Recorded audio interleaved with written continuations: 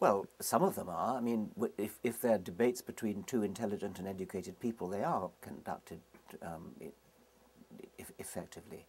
But um, if they're conducted between um, an intelligent, intelligent, educated person on the one hand and, and, and Bill O'Reilly on the other, they're probably not, no.